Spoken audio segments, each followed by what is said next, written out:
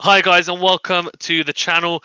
As you can tell, I've got Aaron, and we're going to be going through the Associate Nations for the T20 World Cup. Really, looking forward to this, and uh, I'm sure viewers and myself, although some of you viewers might have fantastic, extensive knowledge of the Associate Nations, but I don't. So that's why I've got Aaron on, and he's going to go through some of the notable players and people to look out for as well in the squad. So we're going to go over Scotland, Papua New Guinea, Oman, Namibia, Netherlands, and Ireland, if I'm not mistaken, which is makes six. Uh, and we will be doing uh, other. Hopefully, anyway, uh, we will definitely be doing previews for the other countries, the test playing nations. So keep an eye out for that as well.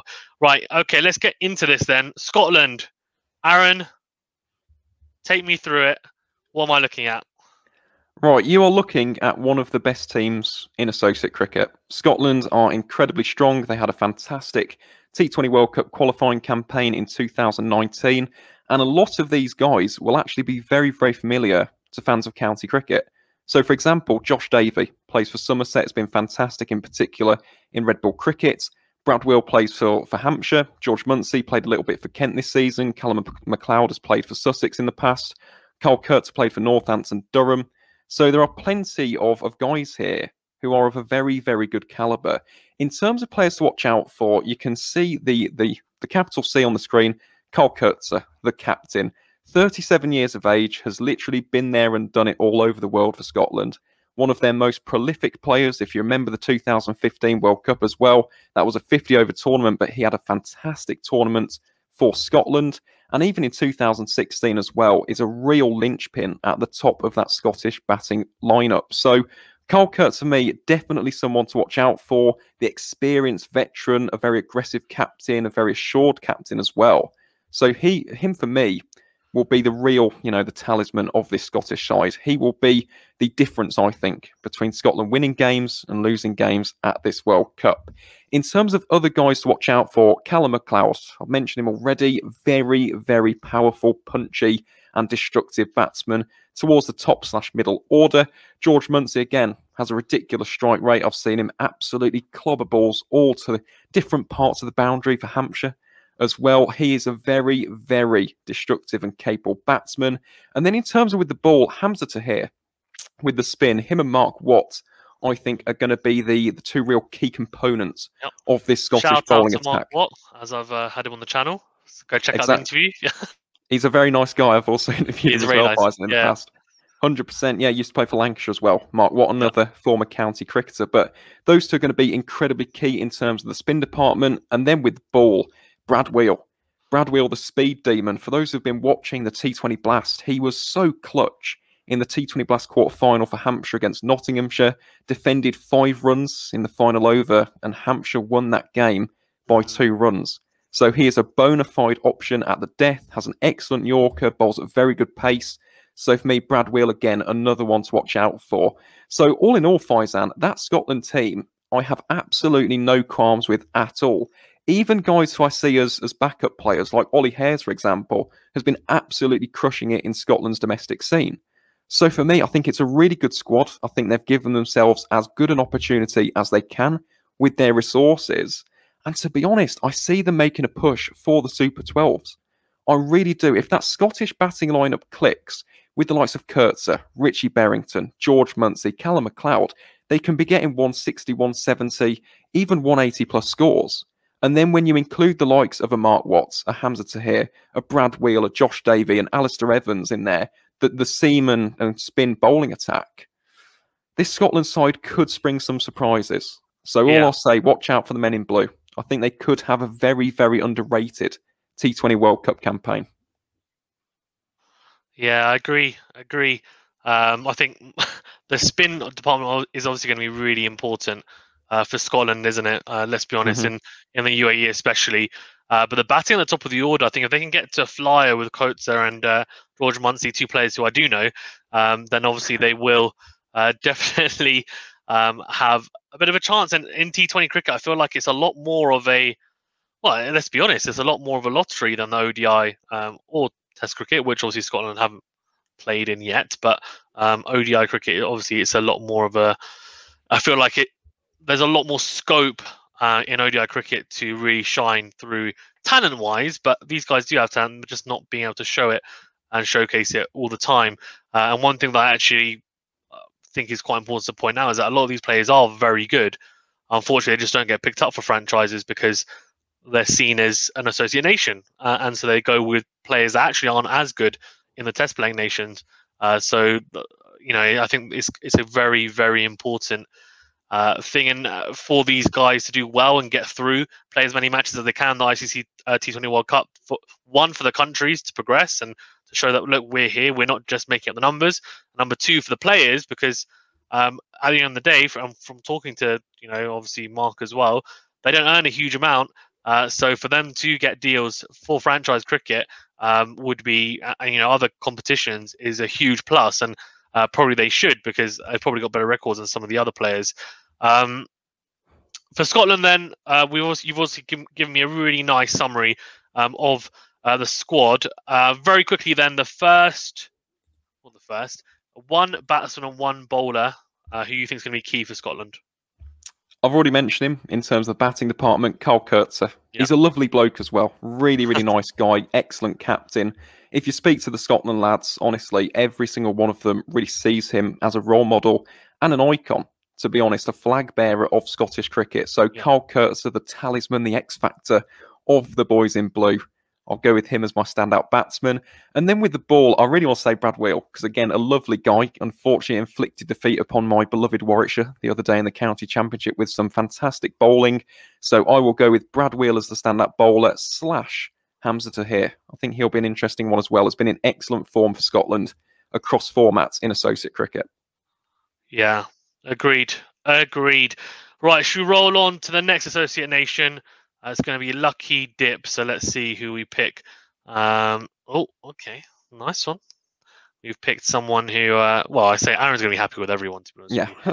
uh, so I don't think there's any issue with uh, with that. We're going to go into Oman. So, um, right, what are we looking at here then, uh, Aaron?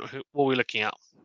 You're looking at quite a strong Oman squad, to say the least, there, Faizan. A very, very strong team indeed. Now, for those who don't know, Oman are the second lowest ranked side in this year's World Cup. They're currently 18th in the ICC T20I rankings. But the key thing with Oman is that in Group A, they, or group, group B, sorry, not Group A. group B is uh, Group B is Oman's group against Bangladesh, Scotland, and of course uh, Papua New Guinea. So in Group B, they're playing at Al Amarat in Muscat, the capital of Oman. So they are basically playing their games at home. So this side, although they are one of the lower ranked sides, they had an excellent T20 World Cup qualifying campaign. And to be honest, again, the names on that team sheet are capable of producing some upsets.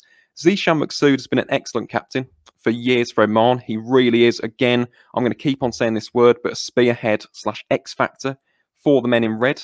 Aqib Ilyas, again, another one, ever reliable, always seems to pop up for Oman on the scorecards.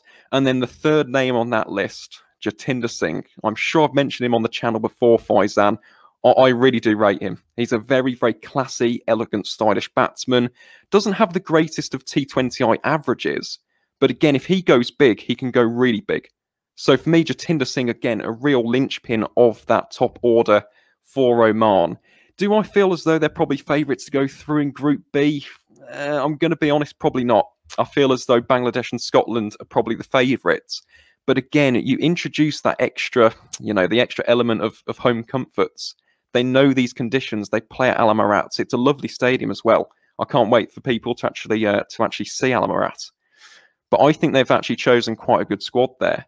To be honest, there isn't really anything, you know, two out of the two out of the um, two out of the ordinary there for Oman. So, all in all, Faizan, although I don't think they're the favourites in their group, again, just like Scotland, capable of, of springing a surprise.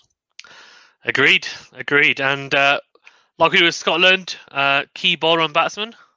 Well, Jatinder Singh, definitely for the batsman. if, if you couldn't tell by my glowing review of Jatinder, definitely him. He's absolutely fantastic. In terms of standout bowler, that's a really, really hard one. Bilal Khan is an excellent bowler, good seam bowler. Uh, Fayyaz Butt again, is another very, very good seam bowler as well. In terms of who I'm going to go with, though, I think I have to go with the captain, Zeeshan Maqsood. to be honest. Excellent spin option, has been there, done that for Oman. One of their most reliable performers, a veteran campaigner for the men in red. And again, he really will be a key, a bit like Kyle Coetzer of Scotland, because if you listen to the Omani players, again, he really is a flag bearer for Omani cricket. He has literally done everything. This is going to be Oman's, you know, first proper go in home conditions in a T20 World Cup. If he can come to the forefront, who knows? And again, that is the beauty of T20 cricket because it's so unpredictable. This isn't like ODI cricket or Test cricket, where you've got much longer for the better team to come to the forefront and really, you know, um, influence their dominance on a game. In T20I cricket, one big innings can change the entire complexion of a game. And in particular, in a tournament like this, where there's only going to be certain group stage games followed by the Super 12s, anything can happen. So who knows? Don't discount Oman, but I don't think they're exactly favourites for this, even though they are in home conditions. And I do wish them the best because, again, lovely bunch of lads. Yeah, agreed. Agreed. Well, I don't know if they're a lovely bunch of lads. They I'm are. sure they are. I'm sure They they, are. are. In I'm particular, sure they are. Bilal. Bilal is Okay. lovely. Fair enough. Nice one. Nice. Let's get on to the next one then. It's like a, a lucky dip. Oh, this is definitely your favourite, so uh, it's fine.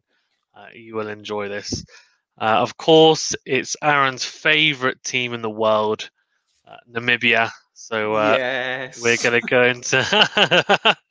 he was literally waiting to be able to use the flag as well. Uh, so we're going to go into uh, Namibia. So obviously, I know a few of them, but I'll let you uh, do the honours and uh, go through it. Thank you very much, Faizan. Funny enough, I was talking to Gerhard's dad, Gerhard Erasmus, he's the captain. I was speaking to his dad the other day um, about what this tournament means to Namibia, and it means the world. It really does. This is a team that are the lowest ranked side on paper. They are below Oman, they are 19th in the current ICC T20I rankings. But this really is a good side. And of course, aside from Gerhard Erasmus, who is the captain, and I'm not making a like for like comparison here at all, but in terms of the importance of this guy to this Eagles outfit, I call him the Namibian Joe Root. He really is that important. He is the foundation of that entire Namibian batting lineup. If Gerhard Erasmus can lay anchor, if he can build an innings around him for the likes of David Wiese, for the likes of JJ Smit, for example, for the likes of Zane Green as well, and Karl Birkenstock, this Namibia side again are capable of big, big totals. So for me, Gerhard Erasmus, he's a great captain, lovely bloke. I've interviewed him before. As I said, his dad again is an absolute gem as well. This is a really, really good bunch of lads who have got a great camaraderie, great chemistry, and they are up for this tournament. Having spoken to a number of these guys, they are up, ready, and willing to fight very, very hard for the Eagles and that badge and Namibia as a country in this year's tournament. In terms of standout players, there's quite a few, but before we get into the the regulars for for Namibia fans, we have to talk about the big inclusion, which is of course David Wiese.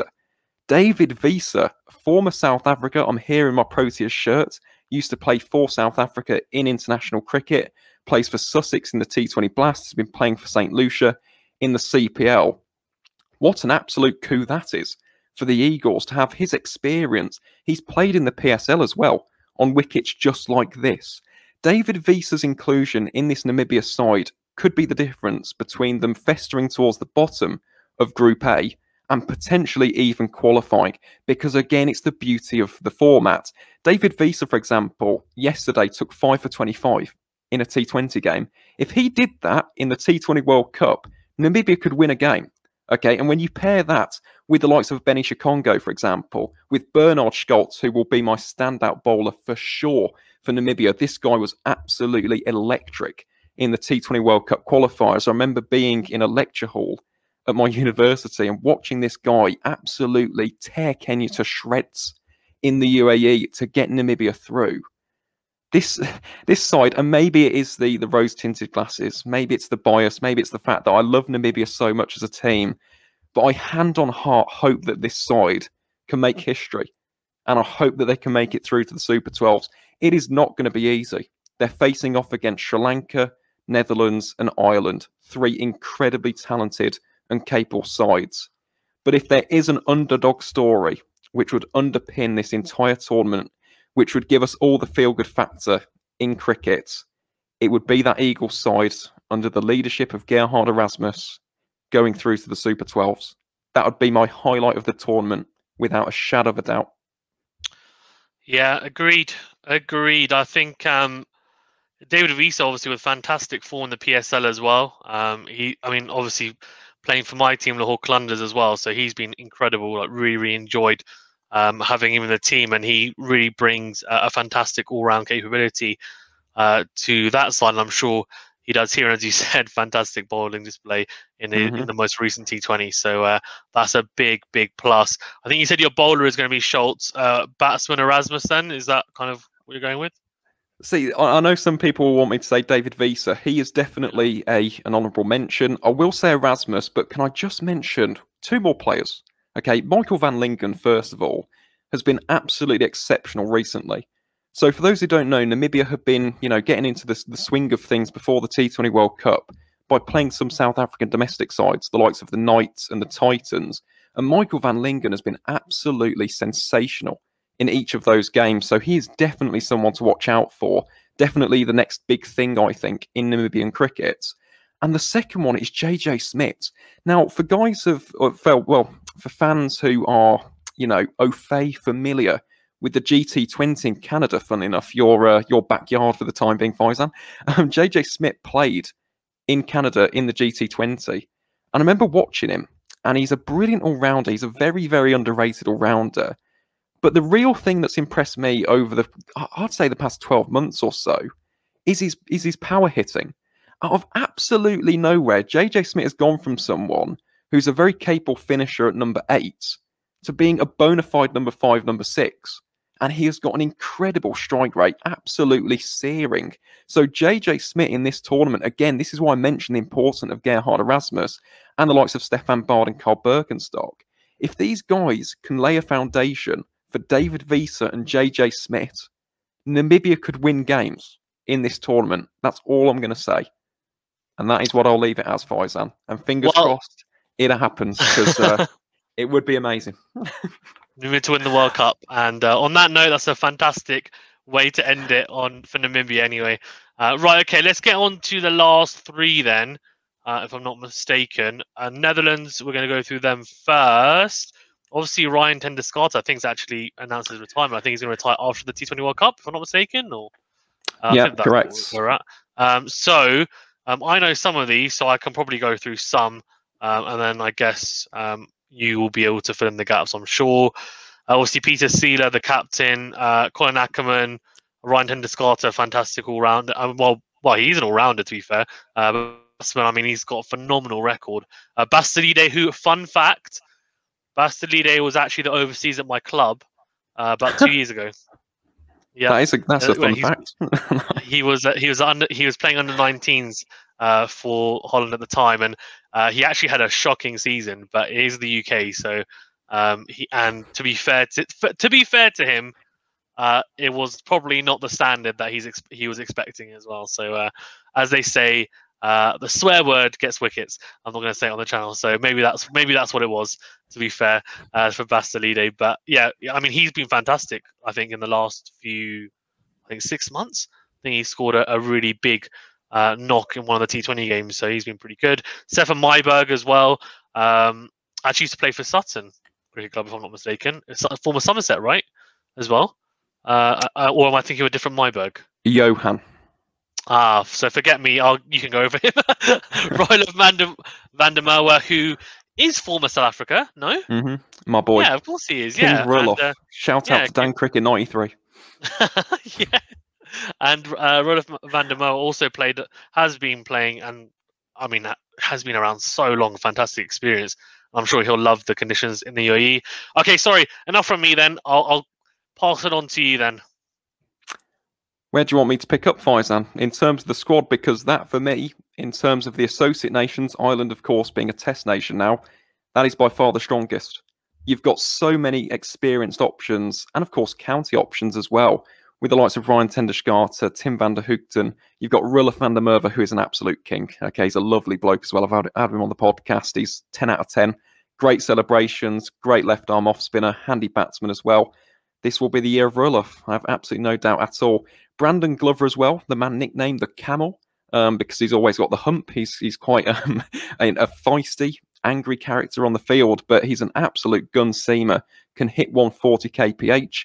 Fred Klaassen also plays for Kent, has been excellent for them in their T20 Blast campaign. And Logan Van Beek's another one, uh, plays for Wellington in New Zealand and, of course, Derbyshire in England and Wales. So, on paper, that Netherlands side is by far the strongest associate team. Colin Ackermann as well, a man who I haven't even mentioned yet. In 2019, I watched him take world record figures of 7 for 18 against Warwickshire at Grace Road, which we got absolutely hammered in. So Colin Ackermann is someone who I'm very, very familiar with. Um, he's an excellent cricketer and again a very, very handy mid-order batsman. So for me, this Netherlands side, I think they're really going to be jostling for that second position as contenders in Group A. I've said Namibia are the dark horses, and I hope they can get it done. I really, really hope they can get it done. But the Netherlands and Ireland, on paper at least, are the ones vying for that second spot. And yeah. with that team, they've got great spin options. They've got some excellent spin options with the likes of Van der Merwe, Colin Ackermann, Philippe Boissevain as well, good young leg spinner. So for me, this Netherlands side really well balanced. They've addressed, um, you know, the the key areas very very nicely in terms of middle order. The top order strong as well, with the likes of Max O'Dowd, formerly, um, well, born and raised in New Zealand, of course, and now plays his cricket in the Netherlands. Tobias Visee as well in fact, I would say he's the the bigger mission. He's a reserve, I believe, for the Netherlands. But I'll tell you what, he is a very, very capable batsman, very, very good for the Vancouver Knights in the GT20 in 2019. So, all in all, that is not only a very, very strong squad, but I also do yep. think a squad capable of making it through to the Super 12s if all things go right. Agreed.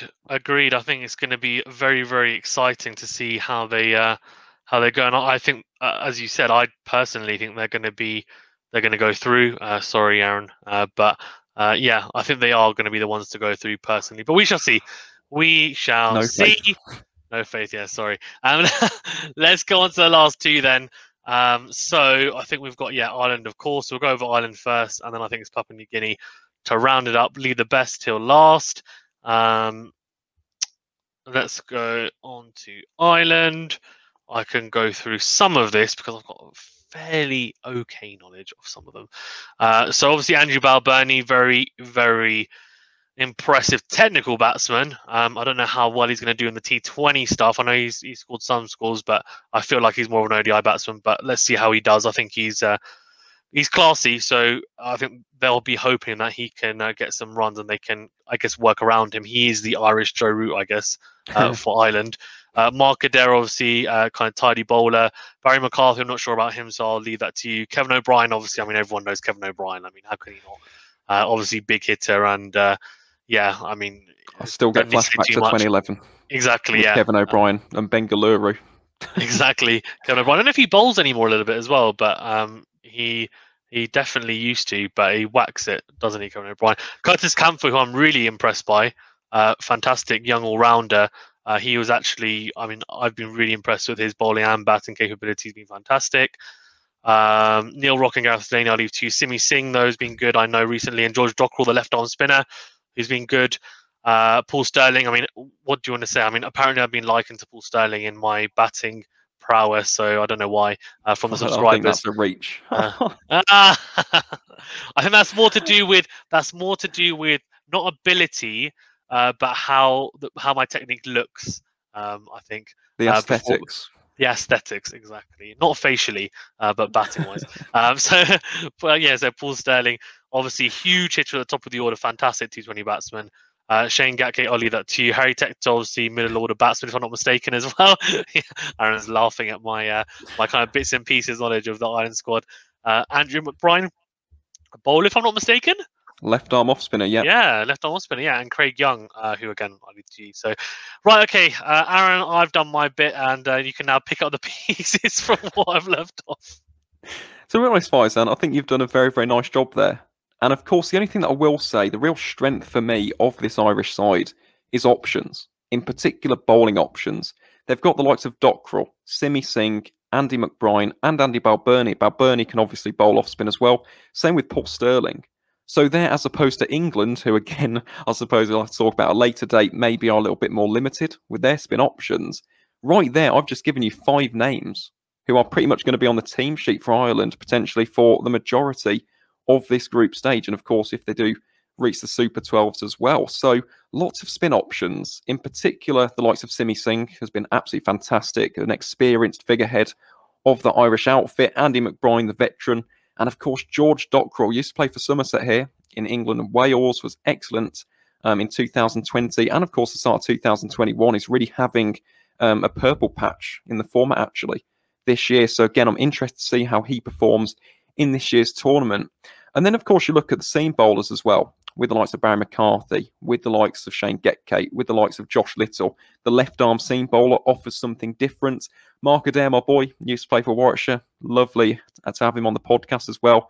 Um, and again, he's having a very, very good time of things in T20 cricket. Craig Young, again, is another very, very experienced and, and smart, innovative seam bowler. So for me, Ireland's bowling is actually their strong point. Of course, you've got the likes of Andy Balbirnie the likes of, of Paul Stirling, Kevin O'Brien at the top of that order. But for me, I love the bowling options. I love the fact that they've got all these different combinations. So for me, Ireland, again, just with the Netherlands, definite strong contenders.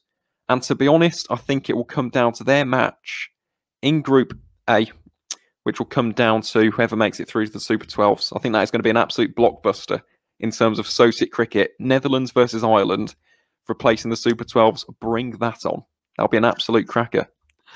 That will be, that will be, and I think that's uh, fantastically summed up. I, I actually, I'm looking forward to seeing how Ireland do.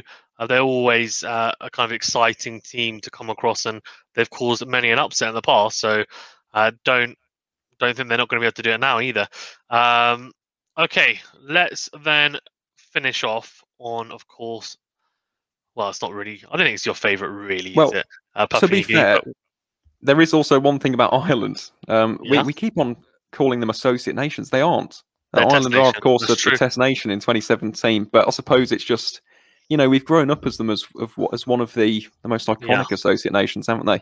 And they, ha- they haven't really played many yeah, they haven't really played many Test matches, so I, that's why it's my fault. I keep on saying that, but I'm going to have to say Associate Nation plus Ireland in the video now. Um, yeah, apologies yeah, exactly. to the Irish fans, but yeah, yeah apologies. yeah, exactly. apologies. I should put um, all the qual- everyone in the qualifying stages apart from Bangladesh and Sri Lanka. Um, but anyway, mm. right, Papua New Guinea. Then uh, let's go through this, and I'm going to leave this all to you. Uh, I'll go through the names, and then you can let me know uh, what to think of it, and also, I guess, a little bit about them. Uh, Asad Valos, the captain, Charles Amini, Lega Siaka, Norman Vanua, uh, Nosaina Pokana, Kipling Dariga, Tony Ura, Hiri Hiri, that's a really cool name, uh, Gaudi Toka, Sese Bau, Damien Ravu, uh, Vagi Maria, uh, Simon Atai, Jason Kila, Chad Soper, and Jack Gardner. Probably butchered about half those names, but if not, then I'm really happy. Right, Aaron, Take us away.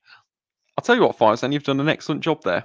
I must admit. Um, in terms of that Papua New Guinea side, the Barramundis, first of all, congratulations to Papua New Guinea, their first ever ICC major tournament. And what a, what a path they had to success in the World Cup qualifiers as well. It's a real, real feel good story for the Barramundis and a massive moment for cricket in the Pacific Islands absolutely massive. That cannot be underestimated. If for those who just want to see a bit more about Papua New Guinea, just look at Papua New Guinea cricket as an organisation. Look at Port Moresby as well, where they play and what this sport means to them. And again, it'll be a bit like Namibia. You'll, you'll find yourself really having a connection with this side. Um, in terms of the team itself, one man who I think we're going to be seeing a lot in this World Cup, or at least in the group stages, is Asad Vala all rounder, captain, really is captain fantastic for the Barramundis, can bat, can bowl. And the key thing here is that he is the spearhead of their spin attack. So he has been excellent in T20I cricket, not necessarily in conditions which have suited spin necessarily. But again, we go to the UAE, and all of a sudden, and Oman, of course, if they do, um, if they do go through to the UAE, that has to be said with the Barramundis. But in these conditions, that will suit Asad Vala. So again, I think he's going to have a very, very good tournament. Charles Amini, or CJ, as he's known in associate cricket, again, a very, very talented cricketer. Another one who can bat and bowl. He bowls leggies. And then Kipling Dariga. I like Kipling a lot. First of all, for the name, what a name Kipling Dariga is. But second of all, because he's a very, very handy wicketkeeper. The only thing that I would say, again, I suppose you could add this about the spin aspect. Will his keeping against spin be as prolific as the likes of Ireland's keepers or Netherlands or, of course, the four members. That is yet to be seen, of course. We'll have to wait and see how he does do in, in different conditions to Papua New Guinea. But with that being said, again, I don't see them going through. And I hate saying that because I like the Barramundis. I've got a lot of sympathy for them. And again, no matter how they're doing this tournament, this is an amazing achievement for a side in the Pacific. So we have to give them a lot of credit for getting here in the first place. But in terms of, again, I spoke about this right at the start, given the resources, given the, the players, given the personnel at their disposal, that is probably the best Papua New Guinea side that you could select. Tony Ura is an excellent batsman. You've got Asad Vala in there, CJ Amini, uh, Mini, Lega Siaka, for example, Nosaina Pokana, again, an excellent seam bowler in associate cricket. So they've definitely given themselves the best possible chance. This isn't like South Africa, for example, who have omitted key players. They have actually gone with their best squad. But will it be enough to take on the likes of, of Scotland, for example? Will it be enough to take on the likes of Oman or Bangladesh? Uh, we'll have to wait and see. We'll have to wait and see. But as I said, no matter what happens, wishing the Barramundis the very, very best of luck. It would be amazing, and I know it might just be a fever dream. It might be again the rose-tinted glasses, but imagine in their first ever ICC tournament, we get almost a Kenya scenario, and they go through, and they go through to the Super 12s, and somehow pull off this incredible underdog tale. So, all in all, probably not the strongest side um, in their group. But with that being said, T20 cricket, anything can happen. I keep on reinforcing this point. One big innings, one excellent bowling display, anything can happen. So bring it on. And I'm wishing the Barramundis the very, very best of luck. Ah, very well put and uh, very heartfelt as well, Aaron. Uh, very, very, very good. Right, thank you as well, Aaron. I do appreciate it um, for, first of all, I guess, broadening my horizons and my knowledge on the Associate Nations. And I'm sure uh, most people watching, I don't know, I mean, maybe my my fan base or uh, subscriber base is just uh, they're completely cricket nerds uh, like you, and maybe they're just incredibly knowledgeable on their cricket. I don't know, but um, if not, uh, then yeah, please uh, obviously have a have a look, have a watch, do do your research as well on the players that Aaron um, mentioned, because I'm sure uh, we will be seeing and hearing a lot more about them during the World Cup. So uh, I'm really looking forward to uh, getting more familiar with them as well. Uh, thank you, Aaron, as well, for being on again. Please do check him out on the Cairns Cricket Podcast on all good podcast platforms and also, of course, on Twitter. Uh, do check him out on there. Very active and, as I said, Uh, and you can tell, uh, knows his stuff. So very worth a follow. Uh, Aaron, anything else you want to touch on before we wrap up? To be honest, Faizan, I think we've covered it pretty nicely there. All I'll say is I'm looking forward to the T20 World Cup. I cannot wait. It's a tournament which I do love, even though at times it hasn't been the most favourable to England. I think back to 2016, for example, and uh, Carlos Brathwaite, thanks to Ian Bishop. I don't think any of us will ever forget the name, Carlos Brathwaite, but it's always a very fun tournament. And again, it's the unpredictability, it's the enigmatic nature of the format, which is why I love it. So again, I'm not just saying this, but I genuinely do wish these associate nations and Ireland, of course, the very, very best of luck because I want to see an underdog story, whether that is Namibia or Papua New Guinea or Oman, who are hosting in their group at Al-Amerat. I just think it would really add to the narrative, the story, because when associate nations do well, I think back to 2003, the Kenya side that made the semi-finals against India, with likes of Maurice Odumbe, Steve Tikolo, Collins Obuya, for example, who played for Warwickshire County Cricket. You think of 2007, Ireland upsetting Pakistan. 2011, Ireland upsetting England. There's a trend here. This is why Ireland became a full nation. But associate nations really do add a completely different perspective to the game of cricket. So if you can watch associate cricket, not only at this tournament, but of course on YouTube streams, on TV, wherever, just do follow it if you can because it's fully worth it. And the guys behind it really, really do love this sport. They don't do it for money, they don't do it for fame, they don't do it for attention. They do it out of love for cricket, they do it out of love for their friends, their families, and of course, the love of their country. So if you can watch associate cricket or research associate cricket or just follow them on social media, just do your bit. That's all I'll say because it is definitely worth it as a cricket fan. No, well said. Yeah, I think all of us can do better supporting uh, associate cricket, and uh, I'm sure they're a lot more relatable than most of the uh, test play nations as well. And as you said, they don't do it because of uh, fortune or fame or anything like that. It's uh, you know after discussing the kind of the uh, the monetary aspect of uh, of it with some of the other, you know, of some of the associate players, it's it's clear that they do it because, as you said, they love doing it, uh, and they do, of course, want to make money as well. But as anyone does in their job and profession, but uh, they genuinely have a passion for it, and I think uh, the more we get behind it, the bigger it will grow, and the and hopefully the more uh, these guys as well uh, can actually enjoy, and hopefully it grows in those specific countries, and they do like Ireland become a test playing nation. Wouldn't that be amazing? Uh, I, I feel like the more the merrier, uh, but that's a discussion for another day.